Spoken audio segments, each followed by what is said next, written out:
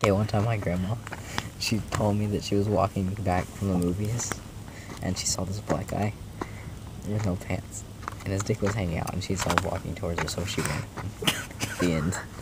Is that even true? yes, she, she told me. A that. naked black man came towards her. Yeah. Whatever, Her Danny. I don't know. I Her don't- and her. How old is she? Was she a grandma? like 16. oh, that's pretty weird. So she ran. And left her friend behind. oh yeah, wait, this is what happened. Her and her friend were both running, and they ran through this field and got stung by bees.